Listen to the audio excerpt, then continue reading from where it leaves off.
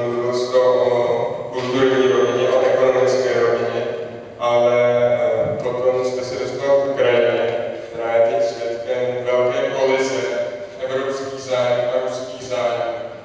Eh, To můžeme vidět ve střednědobém měřítku Gruzii, ruské agrese proti pobaltským státům, jejich snahy o ovládnutí víceméně běloruské krajiny. Potom jste tom, že v Rusku byla demokracie sedm měsíců a nevydržela. Myslíte, že tyto zásadní geopolitické rozpory, které spíš vrcholí, než aby ustupovaly, s tím, že Rusko potřebuje silného lídra a se slabým lídrem nevydrží, mohou někdy vůbec v historii